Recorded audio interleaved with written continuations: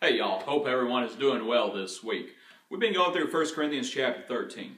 Left off last week about halfway through the chapter. I hope and pray that you pull your Bibles out and follow along with us this day. And we're going to slow things down a little bit. 1 Corinthians chapter 13, at verse uh, 6, in talking about love, it says that love does not rejoice in iniquity, but rejoices in the truth. The purpose of the spiritual gifts was the revelation of the truth and the confirmation of truth. But then in verse 7 it says concerning love that love bears all things. And that's what we're going to talk about today. That love bears all things. I usually don't like talking about uh, Greek words or Hebrew words uh, during these short studies we have, but, but that word for bears, um, that word, the Greek word, the root word, actually appears in Mark chapter 2 and I wanted you to see how it to see how it is being used. As it says that love bears all things, because I think it helps us better understand what's being spoken about. In Mark chapter 2, at verse 4, and we won't read the whole account, but it's the account of the paralytic man who was brought to Jesus. It says, And when they could not, it says, And when they could not come near him because of the crowd, they uncovered the roof where he was, so when they had broken through, they let down the bed on which the paralytic was lying. If I told you that the root, root word for bearing actually appears in that verse, what word would you guess it was? And the word it actually is is the word roof. It's the same root word that appears as a verb in 1 Corinthians chapter 13 that love bears all things. It's the word for covering, that, that, it, that it covers. And I want for us to, I would like for us to consider that. So come up to 1 Peter now. Come up to 1 Peter. Because I think what is being spoken about, perhaps, in 1 Peter chapter 4, at verse 7.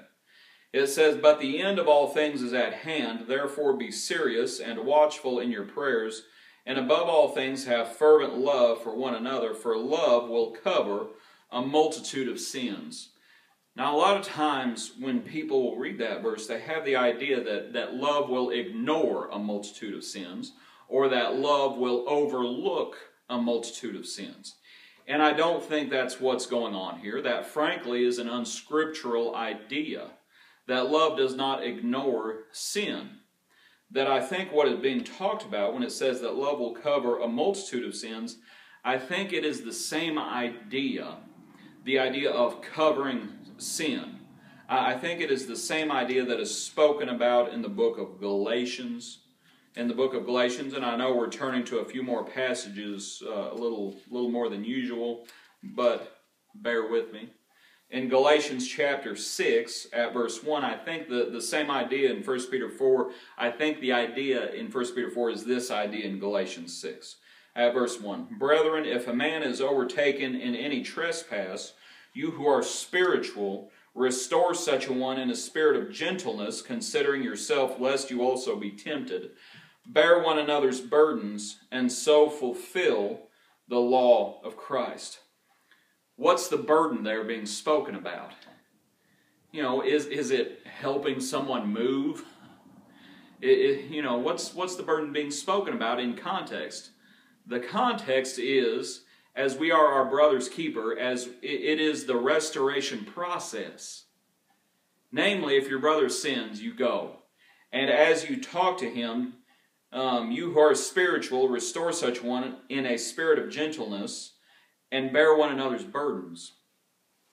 Love covers a multitude of sins, and love bears all things. I think the idea, the idea of bearing all things of covering, as that is literally the word. It is the idea, the, the burden that we bear of our brethren, of one another, is the burden of forgiveness. That we understand that perhaps our brethren have sinned against us. And, we've sinned against them, and, in that, and they bear our burden as well. We bear their burden, they bear our burden. Namely, we confess our sins one to another, and we pray for one another that one another may be healed. And, and the burden that we bear is that we understand that while they may have hurt us, while they may have cut us deeply, while they may have they, they may have been problematic and have maybe we've had strife with one another, But in, in the restoration process, and going to them and talking to them, in, in trying to restore them, and in their repentance, love bears all things. The Corinthians, as they were going to grow, and, and, and that, that congregation had so many problems. And there was a lot of strife and division amongst them, as there were a lot of proud folks. Well, as those brethren started confessing their sins one to another, going to their brothers and sisters and, and, saying, Please forgive me. I have sinned before your eyes and I have sinned before God's eyes. I need you all's forgiveness. I need God's forgiveness so that we can once again be reconciled.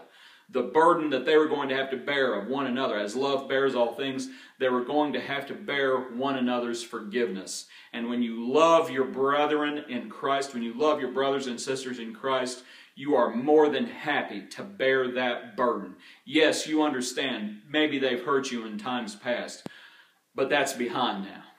That's behind you now. And you bear that you bear that burden. You take that yoke upon you. You've learned from Jesus. You've learned from Jesus and because you have a spiritual mind, as it says there in Galatians 6, you who are spiritual, restore such a one in a spirit of gentleness. You remember what the Corinthians' problem was? They weren't too spiritual at this time. They were still carnal. So if they were going to be spiritual, what did that involve? Bearing one another's burdens in forgiveness. And I think that is perhaps what is being spoken about here in 1 Corinthians chapter 13. Love bears all things. It bears all things. Anyway, something something to think about. You can study on it further. If you have any comments or any questions, feel free to leave them down below. Don't forget to subscribe to our channel. Check us out on websites, Facebook, all those good things. I hope everyone has a good week. God bless you. Thank you for studying with us today.